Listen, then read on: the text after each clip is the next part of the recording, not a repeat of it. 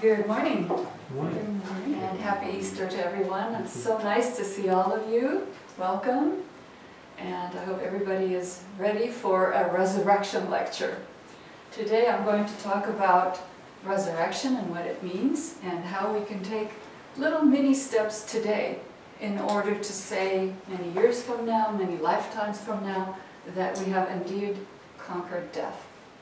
That we can have continuity of consciousness, we can be conscious on the physical world, emotional world, mental world, and higher worlds, and be able to communicate with all of nature in conscious form. Doesn't that sound fantastic? So that is really the story of resurrection, and it can be done. If one person did it, and we are told that throughout centuries and spiritual traditions, we have stories of men and women who have conquered death, who have taken higher initiations, and they have been able to have continuity of consciousness. Isn't that something that we all want and desire so that we would no longer have fear, we would no longer have grief, we would no longer have sadness, but always be in joy and bliss. That would be a fantastic thing for me to feel on a daily basis. So today's lecture I'm taking from the Teachings of Christ, Volume 4, and the chapters, Chapter 4, Easter Message. And I would like to read passages and explain and teach from my insights from what I've gained by reading this chapter many, many times over the last several weeks, and I really, really love it. We are told that, that in the old Egyptian mysteries, six or seven thousand years ago, they used to take the initiate or the disciple into the dark corridors of the Great Pyramid for a special ceremony. They would take him or her to the sarcophagus of the king's chamber and put him in it. A little later, they would take the coffin with the initiate inside to the top of the pyramid and leave it there until the sun hit it early in the morning. When the sun hit the coffin, the initiate would awaken. They would say that the initiate was resurrected, that he had overcome the inertia and death of the body and had gained a new consciousness and new life. So imagine that moment. Imagine yourself in the darkest corners of the king's chamber. It is dark there. There are no lights. It's cold and damp. It's utterly, deathly silent. And you have the ability to climb into a box and be completely at ease, physically. You're not saying, ooh, I'm sore here, ooh, I can't stay for more than two minutes, I have to move. You can't. You are completely at ease with your physical body. Your emotions are calm and serene. There is not an ounce of fear in you. Your mind is completely quiet. It is not full of fear and foreboding what is going to happen. Imagine that. And you are able to climb in and you're covered. There are guides around you. You are not left alone. There are guides around you who will guard your body, while a higher guide takes you as a spirit away to the higher worlds. That is where the initiation takes place, not in the coffin, but in the higher worlds. You are able to leave all of that behind, and you are able to go to the higher worlds and experience and witness and learn what is going on in the highest planes of existence where the great masters and Taras of wisdom work and teach on a daily basis. You are able to physically experience that, physically meaning in the spirit. You are taken then, your body is taken to the top of the pyramid. Now imagine, how many hundreds of feet is that up? It's pretty high. All the way to the top. It's still pitch dark. You have no fear. You have left it behind. There are guards around you, but you are in total total darkness in your physical, emotional, mental world. And your spirit is soaring in the higher worlds, and just before that first ray comes up behind the mountain, that first ray of sunshine, you are returned back to your bodies, the top is opened, And as the sun hits the coffin, you rise. You rise out, and you are now a fully initiated, fully conscious human being. You're radiant. Your aura is radiating in colors that has never been seen before. You have the radiation of your physical etheric body in violet and golden colors. Imagine these colors. Your emotional body is translucent and silver blue. Your mental body is lemon yellow, sparkling. You as a human soul have a deep blue color that's radiant from the core of you. You are in contact with the higher worlds, with your solar angels, so there's that white heat of the solar angels sparkling in you. And you're radiating in full glory. What does that feel like? What does that look like? Isn't that magnificent? And you are rising with the sun on top of the pyramid. What are the angels singing? What are the great ones saying? Here goes a son or daughter of the Most High who has resurrected herself and himself through death. That is a beautiful symbolism, and imagine that as we go through these steps. And that can that be ours?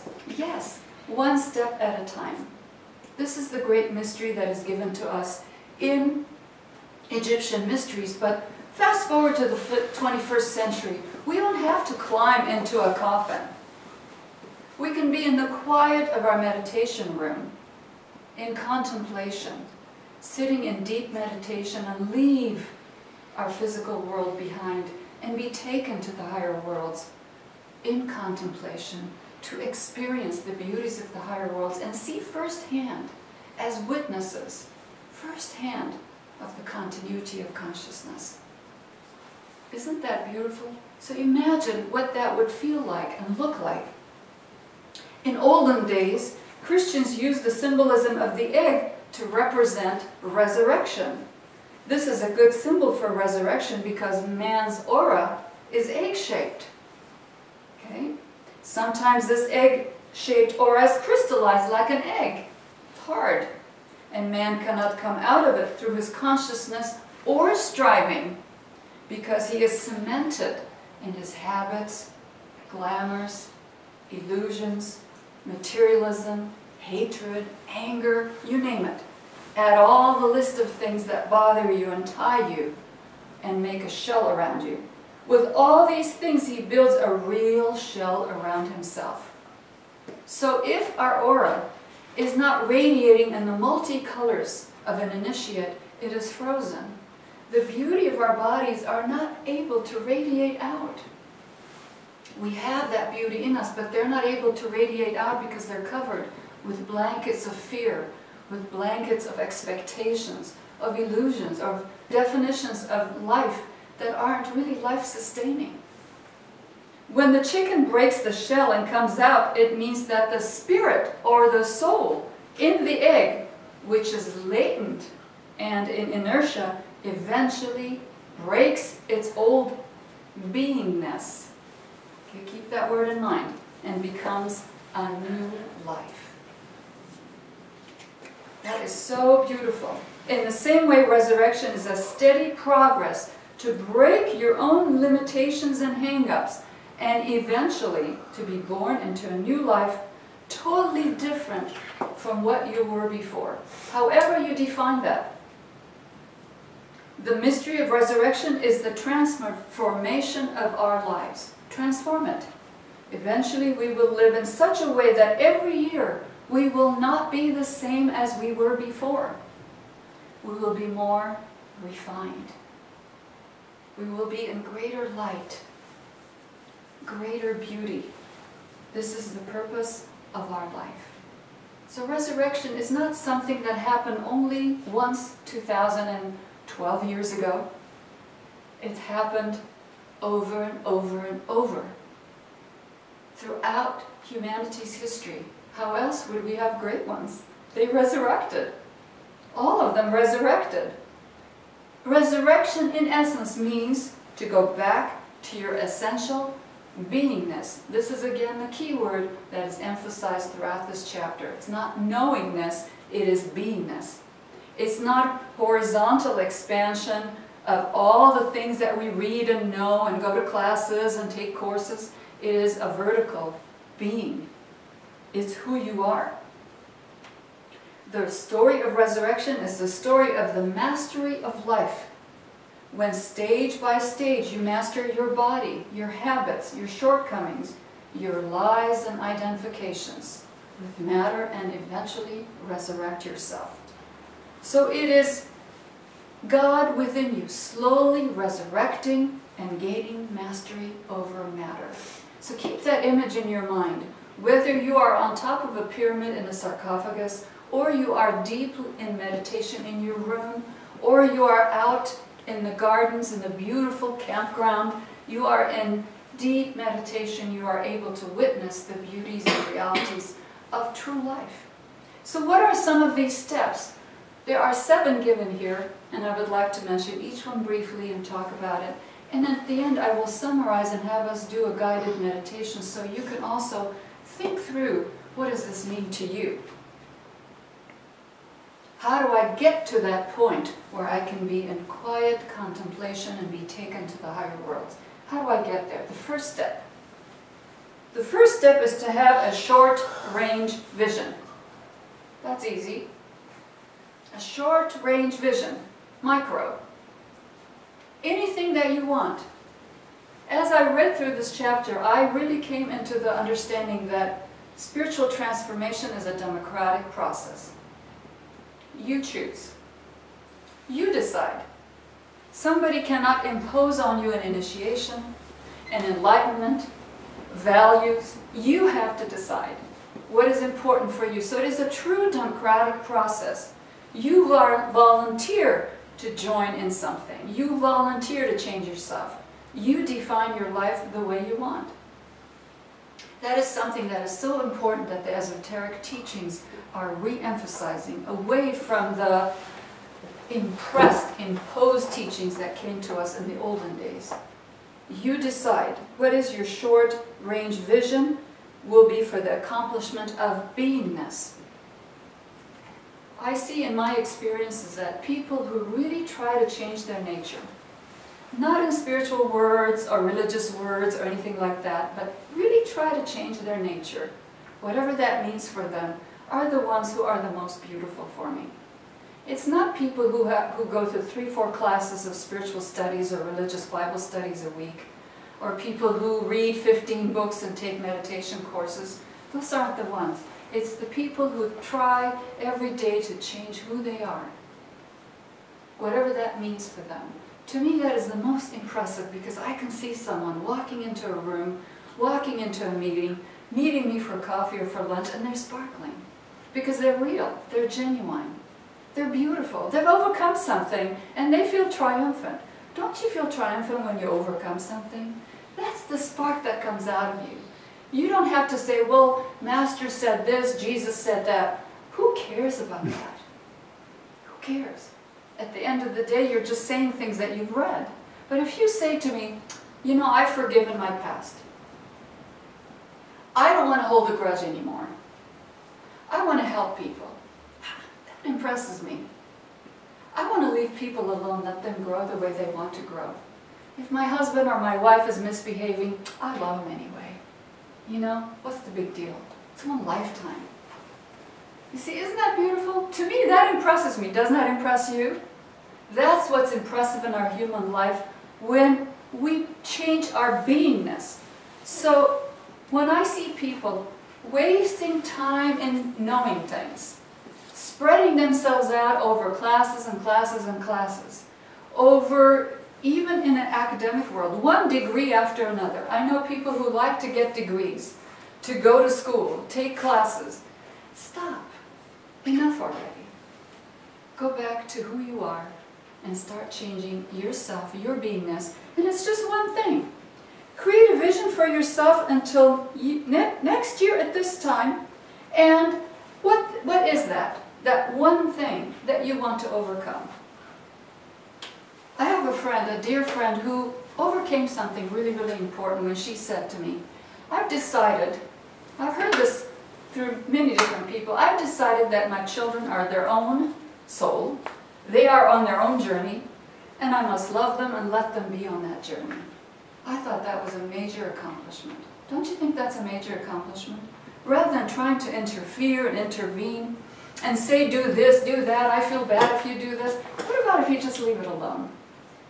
And acknowledge that they are souls on a journey and they need to experience the things that they're experiencing. That doesn't mean you don't help when you need when they need help, but you don't interfere. You let their soul grow and express. And that is the hallmark and the mystery behind a good marriage, good relationship in a group, good relationship in the business world, is to respect each other's journeys. Okay, so that's one of the beingnesses. Okay, you ready for step two? Step two takes you from the micro to the macro. You know, that's the, the genius of great writers, and they stretch you and they pull you like a rubber band from one end to the other. The other end, the micro, is second step to resurrect yourself is to have a long-range vision. Okay? I've thought of myself at the, my last birthday, and I thought, okay, I am now 66 years old, young. I'm going to be another millions of years old, right? In the, in the long range, that's nothing. That's just a little chickie, right? What do I want to accomplish in the next 20, 30, God willing, who knows how long I've lived, years? And, I, and that was really sobering for me. And I thought, there's so many things I want to do, but what do I really want to accomplish? Your long-range vision for yourself. Here are some questions that are suggested here. Again, remember, it's a democracy. You get to choose, you get to define. You can ask, what initiation am I going to reach? Initiation means mastery. That's all it means. It doesn't mean somebody gives you a medallion. It's mastery. What initiation do I want to reach? Whatever that is, ask yourself. Second, what step of progress will I reach in this life? Whatever that means, you define progress. Progress may mean exercising every day. May mean reading one deep book a year. Whatever that means for you. Going camping on a regular basis. Playing with your grandchildren. Whatever that means. What is the step of progress that you are going to reach in this life for the next 20, 30, 40 years? Okay? Third question, am I going to be a success or a failure in this life? You are going to define success and failure. Interestingly, the definition of success and failure changes in our eight, when we're 18, when we're in our 20s, when we're in our 30s, 40s, 50s, 60s. It changes, and it should, right? It should change. It shouldn't stay static. The more wisdom we gain, the more we redefine success and failure. When we're young parents, the most important thing is to educate and feed and clothe and house our children. Of course, that's important. But as they go on to college, have their own families, what is success for us? What is failure for us? See, that's the definition that you are going to give. So the first one was short range, the second one was long range. Number three, this is really important, and this is a keynote of mental and, and emotional health. Very, very important. The third step you can take in resurrecting yourself is striving. It's the increase of willpower in you. I have noticed that people who make the biggest changes and become successes and happy and fruitful in their life are people who strive and increase their will. It's not just knowledge. It's not just endless love. It's that willpower that has to be activated in you where you say, I am going to get up, I am going to do this. And in talking to a psychiatrist very recently, he said, increase the willpower and you are going to see change. In the old days, disciples in monasteries had to go out and dig ditches. They had to do gardens, they had to do weaving and painting and, and, and so on. And they had to meditate, they had to be fasting, they had to get up at 3.30 in the morning for services. All of that was designed to increase the willpower. It wasn't designed as punishment. It was designed to discipline and increase that willpower. Again, we're a democracy. You decide how you want to change and increase your willpower through striving. Many, many years ago I heard a lecture that Torkom gave that I recommend everybody listen to maybe once a year. It's called The Most Essential in the Teaching. And he said get rid of your books, get rid of the astrology and astronomy, get rid of the seven rays. None of that is important. What is the most important thing is striving toward perfection. If you strive and take those steps, everything that you need to help you on the path will be provided for you. Everything. And at first I was shocked. I thought, well, why am I a publisher then? I publish books, right? I give lectures. Then I started seeing, but you can't use these things as crutches. They are a starting point, not the end point. So in having a book and reading it, that's one thing. But how about if you try to understand it? How about if you try to implement it? That's going to take striving. So the third step to resurrect yourself is to develop your willpower any way that you can. Any way that you define it, increase it. Now, here's a word of warning. Don't increase your willpower over others. Okay? Your willpower is over your own nature, however you define it. It's not to become bossy and tell other people, do this, do that. That's not willpower, that's um, disrespect. Okay? You're going to increase willpower over you, your own nature. Striving is an effort to harmonize your life to your highest principles. You know what your highest principles are. It's not so easy sometimes to articulate them. I sat down and I asked myself, and we'll come, that'll bring us right to the next point, number four. How do I identify myself? And I started listing daughter, friend, wife, teacher, and the list was like this long. And I said, okay, so how, how, what am I as a soul? And I had to stop and I thought, well, what am I? What am I? And I kept asking that question, what is the eternal me? I'm not even Gita, I'm just Gita for 80, 90 years, that's it. Next time I could be a man. I could be something totally different. I don't, do you see what I'm saying? When you think about that reality, to become to your highest principles, so the next question for me was, what are my highest principles? What are those highest principles that I can identify myself with? And everything that is horizontal, I put into perspective and say, these are wonderful. I am a wife, a mother, a coworker, a friend, a lover, and all of that, fine. But that's not what defines me in totality. And yet when we look at ourselves, take this exercise and do it, especially in the next coming month as we go into the next holy days of Wesak and contact with the higher worlds. Ask yourself, what am I identifying myself with and how big is that list? And if I really want to contact my higher self, how do I articulate that? And one of the ways takes us to step four, which is very, very important. Take this very seriously. The fourth step in resurrecting yourself is detachment from your past self. See, we have built our life on our memories of the past. Consider that. Everything that's happened to us in the past is default. Great Master Tibetan says in Discipleship in the New Age, page 463, fantastic quote. Looking to the past is the usual direction and the line of least resistance for the majority of people. Isn't that interesting? Of course it is. That's our memory. We don't have a conscious memory of the future. We don't have a conscious memory of the higher worlds.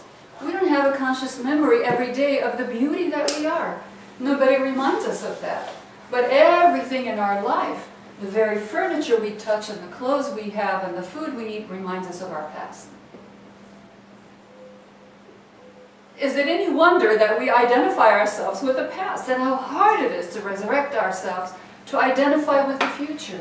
And when we look at the lives and teachings of great ones, Christ and Buddha and all great ones, they are always pulling us toward the future so that we can disidentify with the past. So you are going to consider that your life is identified with all the things that happened and did not happen to you in the past. That's well and good, but they don't have to be an, an, an, a permanent spiritual DNA imprint in you. They can be changed. And you can start identifying with yourself, with your essence of who you are, not your past. Number five, this is a good one. The fifth step in resurrecting yourself is to clear your karma. What's karma? Well, here's a nice definition. Anything that is binding you in some way and bothering your conscience is karma. Anything. Again, you define it. You don't need someone to come and tell you your karma is this, your karma is that. That is horrible. I don't like it when people do that. How do you know what my karma is? How do I know what yours is? I'm not in your heart. Do you tell everything that's inside you to other people? Never. Even if you know what's deep inside of you, you don't reveal that to everyone, not even to your husband or wife. I promise you, there are things inside of us that we don't even tell ourselves. Let alone somebody know what the karma is in our life. We don't know. So you decide, what is your karma? By finding out what is binding me. What is bothering my conscience? What is it? Be very honest. At that moment that your body is going to enter that silent contemplation, sarcophagus, darkness of the king's chamber, whatever that is, it's symbolic. When your body is going to enter that, ask, something's still bothering me. I need to clear it. Why? I don't want to deal with that again. I really don't. Do you want to deal with all the miseries of your past again? No. No, nobody does. I want fun, new experiences, happy experiences. I want to create new memories. So you're going to think, what is it that's bothering your conscience? And if you don't clean it, what does he say? It'll come back and prevent you from future resurrection. Of course it will. Anything that bothers your conscience, clear it up. Number six. How are you doing? Good. Number six. This is really good. So there's six and seven left. I really like these, and you can see one step at a time. That's all it is. Sixth step to resurrect yourself is to create a manifestation of refinement. I really love that. In our family, refinement was always emphasized. Refined manners at the table, refined dress, refined talk. And that whole idea of refined speech is kind of being lost in our modern world, isn't it? People like to call each other really bad names. They like to disrespect each other publicly on the internet. They think it's cool and wonderful. But that's, that's not good. Why is that? Because everything that comes out of our mouth has a color and a vibration in it. And you don't want your aura to be filled with that kind of ugly vibration, do you? No. You want to have refinement in speech, refinement in thought. Think the best of people. When you see something that is not good, think of the best in it. Create beauty instead of ugliness and goodness. You see? So you're going to look at refinement in the way you are speaking to other people, the way you dress, the way you relate, the way you serve. Not rough and self-centered and loud and interrupting, but refined. Refinement, if you think of it, about it energetically, will calm your physical and etheric body, will calm your emotions, will calm your mind, and let your essence break through that hard shell. And as soon as we become rough and ugly, what do we do? We build a hard shell around us. So refinement is to remove all that from around us. Number seven. The seventh step in resurrecting yourself is sacrificial living. You must ask what you are really giving to life. This is a very important question. Most people only think about what they are taking from life. This is true in spiritual and mundane worlds all. What's in it for me? What can I take? People want a free class. They want a free book. They want a free gift. They want to be able to take everything from life and not give anything. But the first lesson of a true spiritual being person is someone who says, what do you need? What can I give? It's so beautiful to hear that. Don't you like to hear it when somebody says, what can I do to help? Tell me what you want. What can I do to help? So that I give instead of saying, give me, give me, give me. Why is that? Energetically, when you take, take, take, all you do is add to your blankets, to that hard shell. But if you give, you're radiating out. And as you radiate out, you create an empty space into which more will flow. Okay, so we are not just talking actions, but we are talking energy exchanges. Through these seven steps, you can eventually achieve resurrection.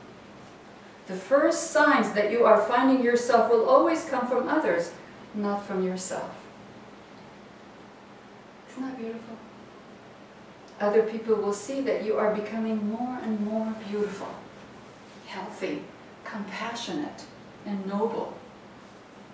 They will see that some divine light is shining out of you.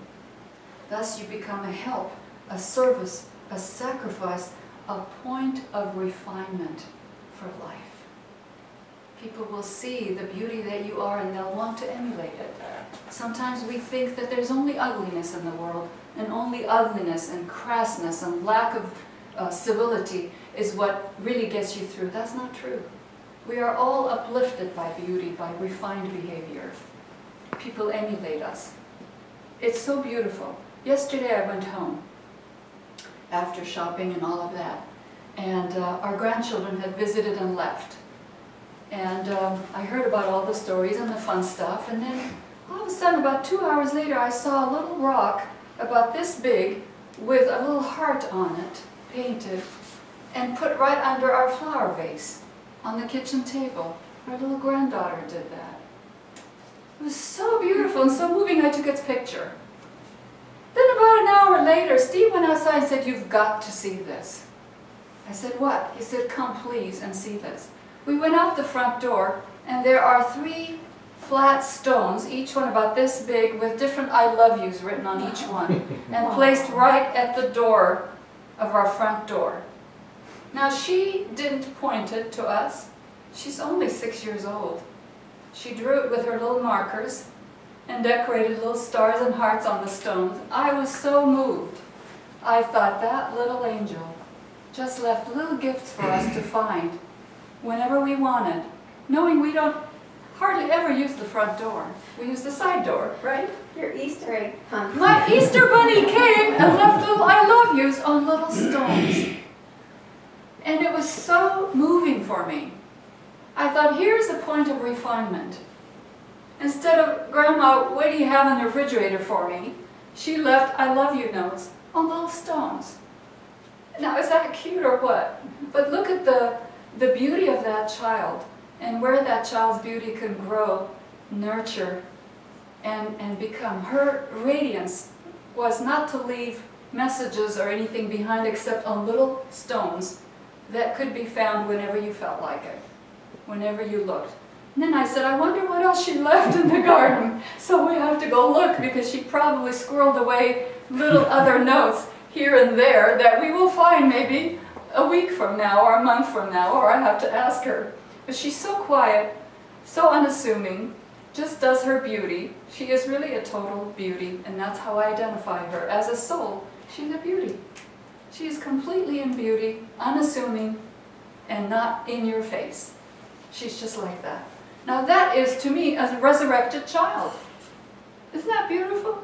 So let's take now a few minutes, close your eyes, and let me go through these one at a time, a few seconds for each one, and just stay with me and say, what, what is it that you would like to see yourself accomplish? First one is short term, short range vision. What is your short range vision? Close your eyes. Relax. change in your beingness.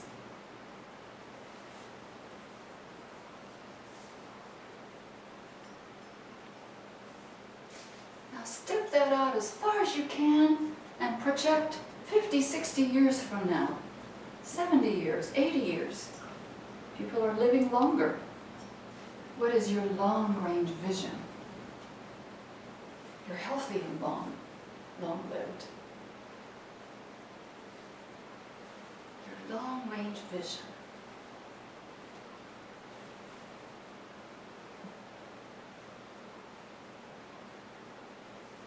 What is the step that you are going to take to increase your willpower?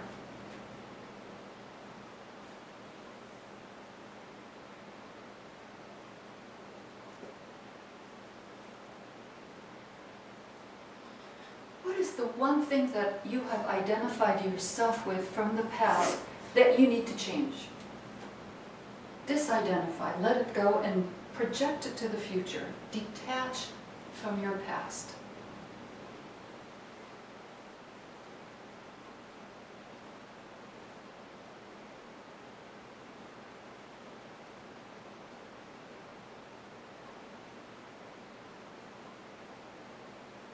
Number five, what is binding you and bothering your conscience?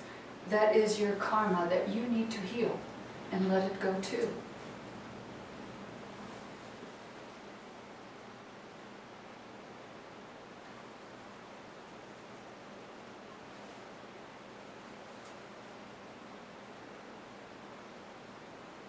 In what way would you like to refine your life?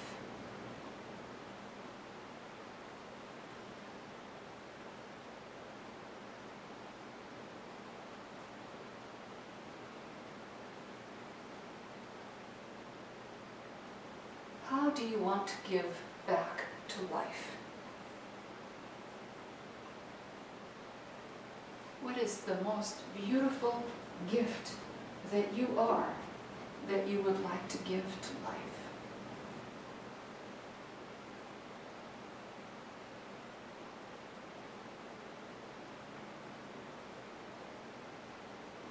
Now visualize yourself sitting on top of a pyramid. The lid is open, the sparks of the sun are coming, going to hit your face.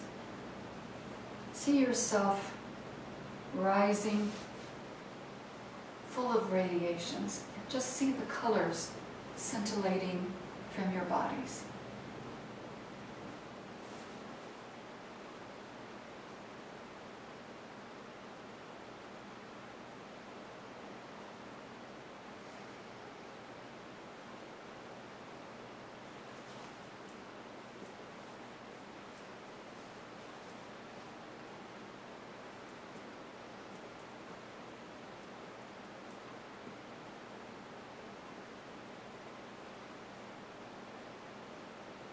Try to keep that vision, that image in your mind. We are now going to have Lou read a passage from Christ's Avatar, bless the communion, and if you would like to take communion, you will be welcome. So Lou, please read something for us.